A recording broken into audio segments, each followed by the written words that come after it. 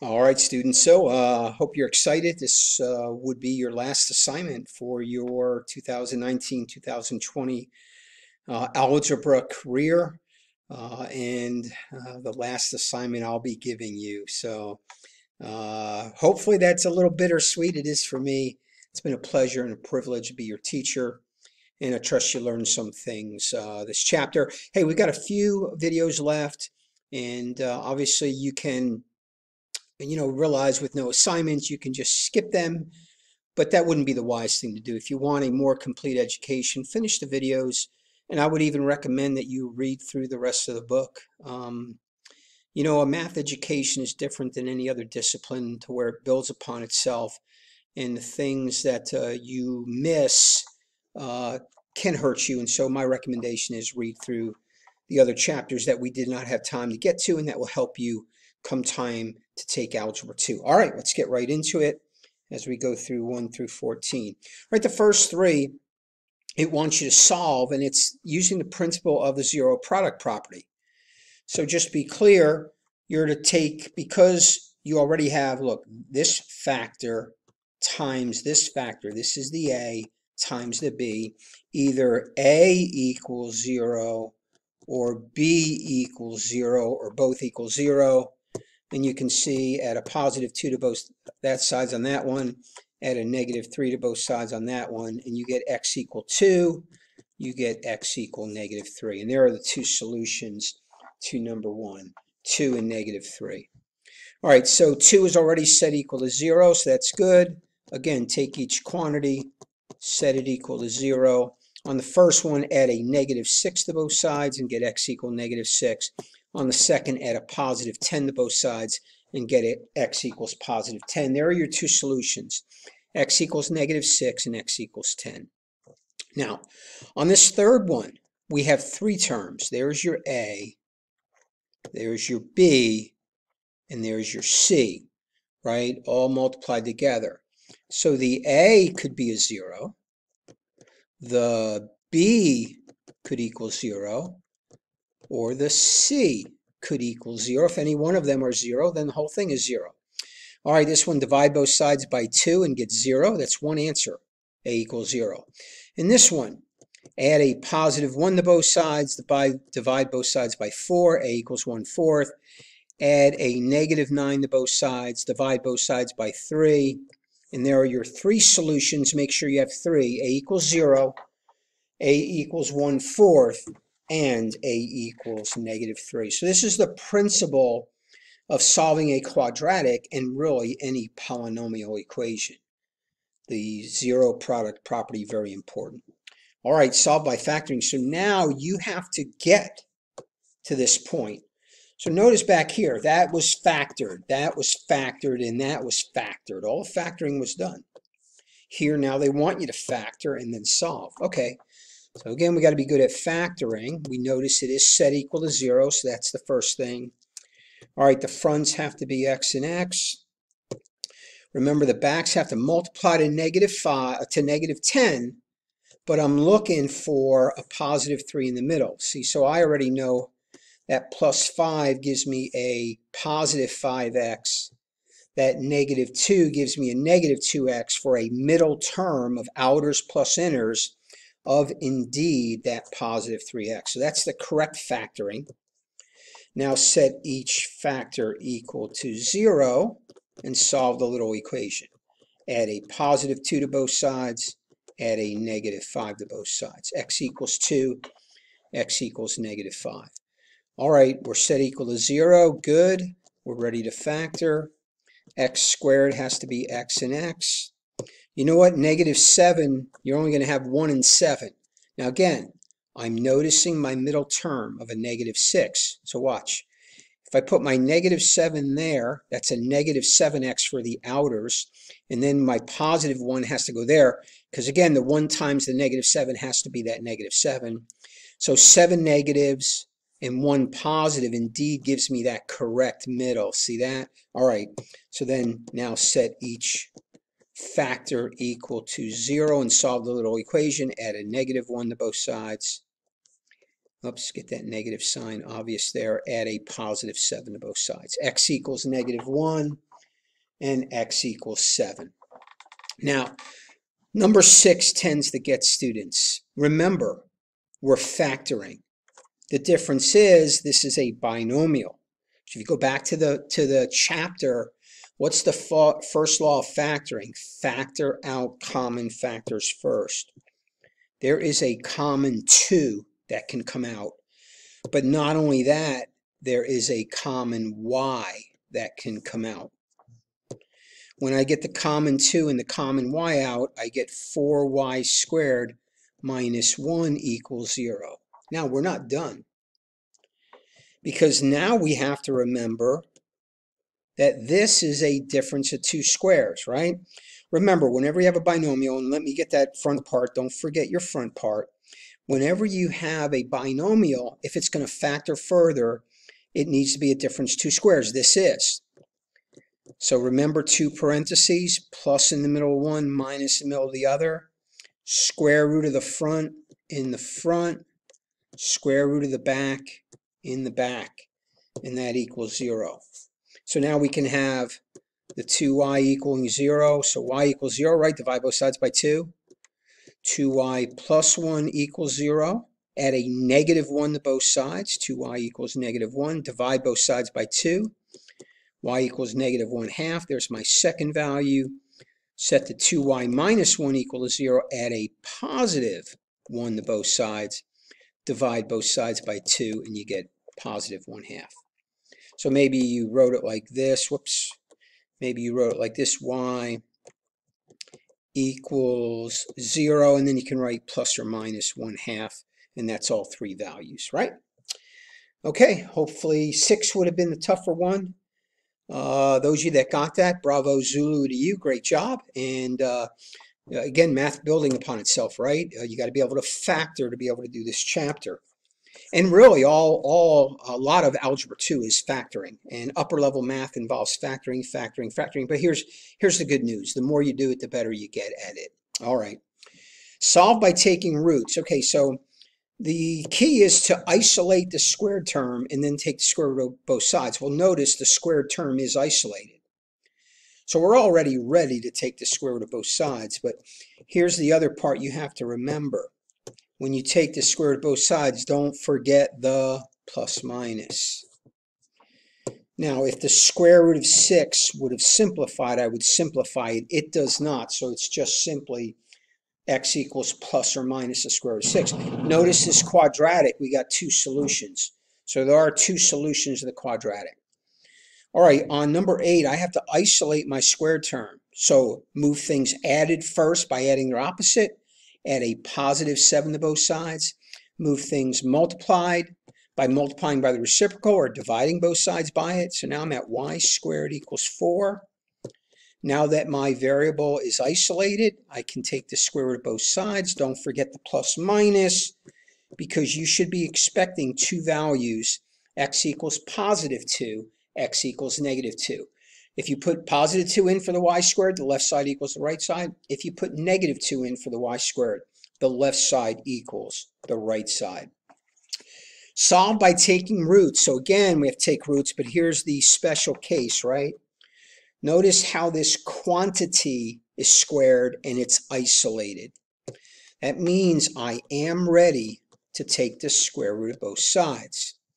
So once again, square roots undo squares. And here, don't forget the plus minus.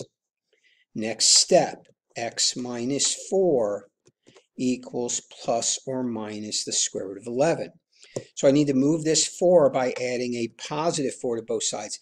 And normally its position is to be in front of any square root. So my final answer is x equals 4 plus or minus the square root of 11. Now that's two solutions. Remember, that's 4 plus the square root of 11, right? x equals 4 plus the square root of 11, and x equals 4 minus the square root of 11. But we're able to write it together to show both terms. Now, in number 10, we have got to move this 25 before we take the square root of both sides. So we're going to divide both sides by 25. Now I'm ready to take the square root of both sides because notice now my squared quantity is isolated. So I'm ready to take the square root of the left, take the square root right, don't forget the plus minus. Now, a couple issues here. Remember, math builds upon itself. So this is going to be plus or minus the square root of 12 over the square root of 25. Now, most students have no problem with the square root of 25. They know that indeed that is 5. But the square root of 12, we have to simplify. Right? So I left a little mm-hmm. room here to show you the simplification. What's the square root of 4? 2, and we get a 2 out. So I want to show you where we are. We're at x minus 1 equals plus or minus the square root, I'm sorry, missed my 2 there, right? x minus 1 equals plus or minus 2 times the square root of 3 over 5. And then I have to move this 1 by adding a positive 1 to both sides. And again, it's going to go in front. So here's one form of the answer. 1 plus or minus 2 times the square root of 3 over 5. And that's, that's an okay form. There are other forms you can get it into, and you can split it up into two, right? You could split that up into two if you really, really, really, really wanted to. All right, 9 and 10. Interesting. 11 and 12, solve by completing the square. So we have to complete the square, and then we have to solve by that methodology. All right, notice we are set equal to 0, so that's good. So you're supposed to isolate the squared term, so let me show that. And then leave some room because we have to put a quantity into there. Now, we have to figure out what to put in here to get this trinomial right here to be a perfect square. So do you remember, you take the b value, do it down here, and you divide by 2, and then you square it. So we need a 16. But here's the thing. I just added 16 to the left side of the equation. Now, it used to equal 0. It no longer equals 0, because how can I just shove a 16 on the left-hand side? But the way to keep it equaling 0 is to also subtract a 16 from the left-hand side. Now I'm keeping everything balanced.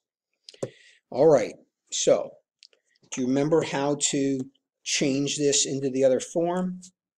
So a perfect square becomes a binomial, square root of the front, sign of the middle, square root of the back, and it's quantity squared.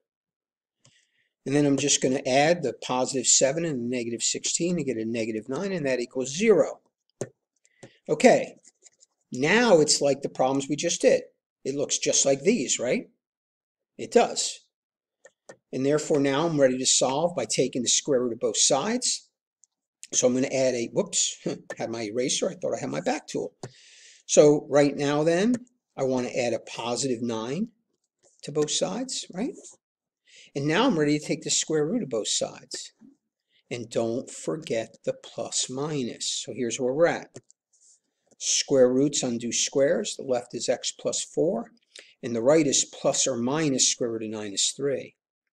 So now you have to remember to split this up into two equations to finish. x plus 4 equals positive 3, and x plus 4 equals negative 3. This will give us our two values.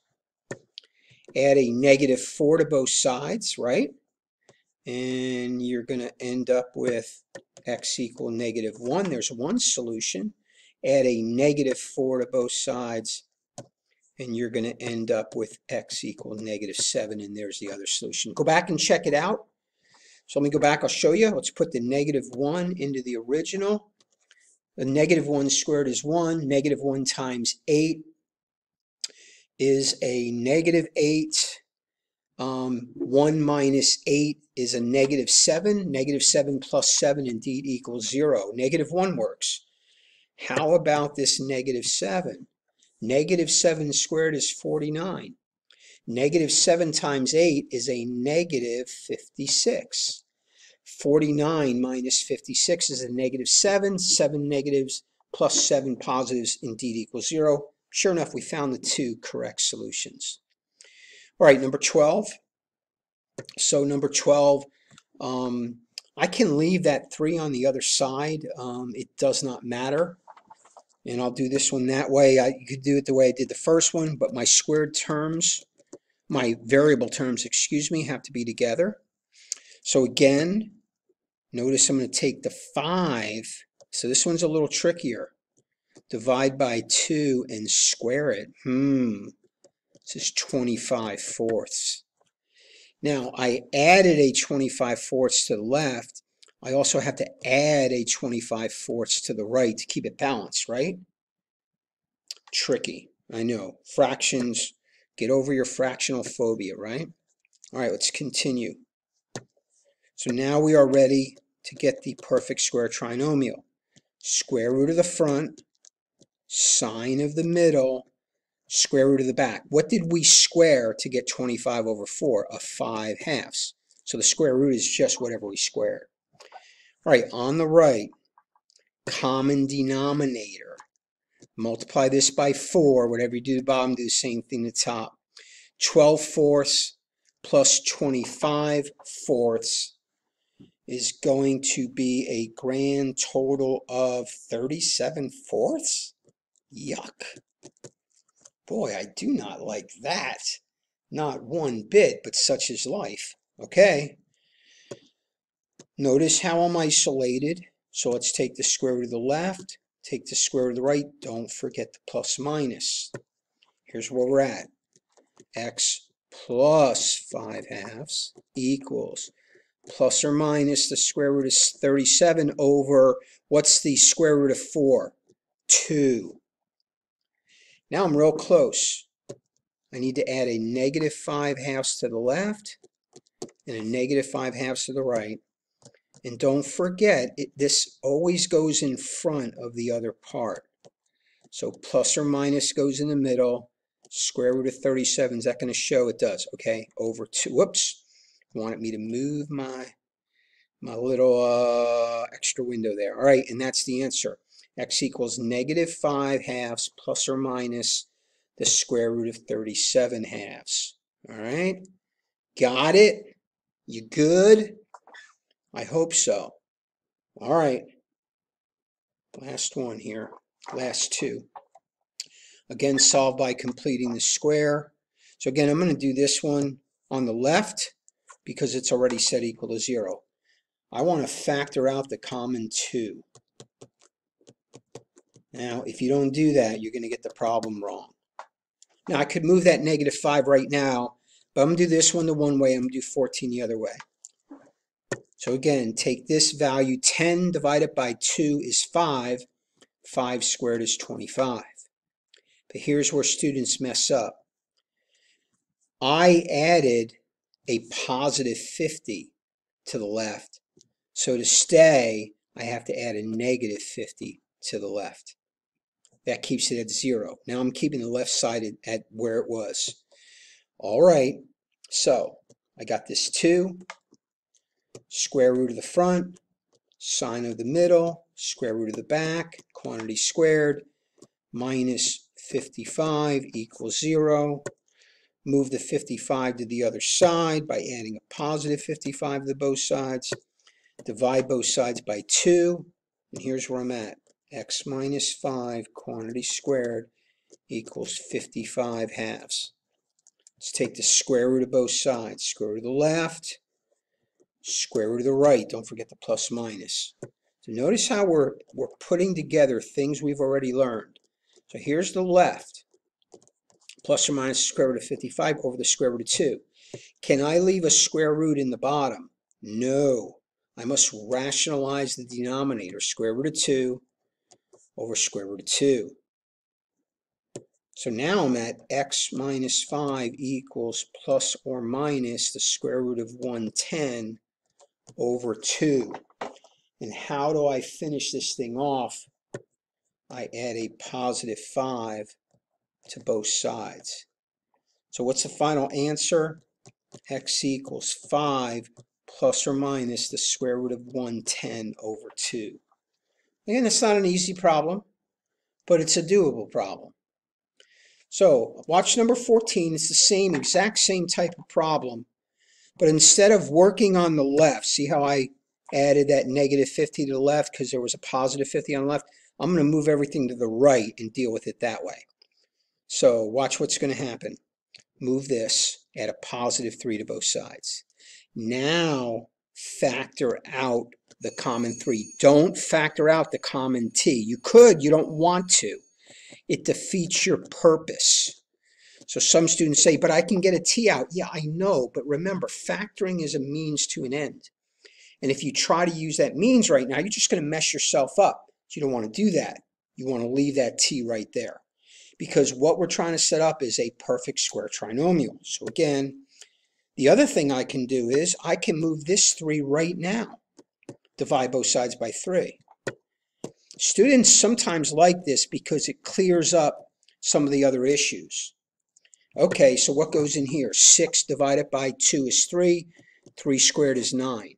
If I add a positive 9 to the left, I also add a positive 9 to the right to keep it balanced. So see, by, by moving that three, it makes life a whole lot easier. Uh, most students find that way easier. Sometimes it'll give you a fraction, but in this case, it was not bad. Okay, so let's change this into a perfect square. Square root of the front, sign of the middle, square root of the back, quantity squared equals a 10. We are now ready to take the square root of both sides. Don't forget the plus minus. So this is t minus 3 equals plus or minus the square root of 10. And all we have to do is add a positive 3 to both sides. And that should be our answer. Um, everything's right with the world. t equals, uh, ooh, I just looked and it was uh, way back here Were you're drinking the Kool-Aid. That should have been a plus. Therefore, that's a plus. Therefore, that's a plus. Therefore, we got to, and therefore that's a plus, and therefore we got to add a negative 3 to both sides. Okay, there's our answer. t equals negative 3 plus or minus the square root of 10. Quadratics. Um, they are fundamental to Algebra 2. When you get to your Algebra 2 course, I'm just going to warn you, you're going to jump right in. I think second chapter, you're going to be solving quadratics. So this isn't a topic where you just say, oh, well, you know, I don't really get it. You know, it's life. It's going to pop up very, very quickly in your Algebra 2. And, and the rest of your Algebra 2, you're going to be using these principles. So get them down now. Get it figured out now. You got time to get it figured out. Get it figured out now, and that will help you the rest of your math career. Hey, that's it. Um, I hope this was helpful for you. Uh, remember, uh, when I'm long gone, I'm going to try to leave those videos up at uh, Rick Scarfi playlist on YouTube. And, uh, you know, when you get to your Algebra 2 class, they'll be there. You can let the pre-algebra and Algebra 1 students uh, remind them they're there for their help. And uh, boy, if I could ever be a help to you, I'd love to do that. All right. Uh, you have a great day.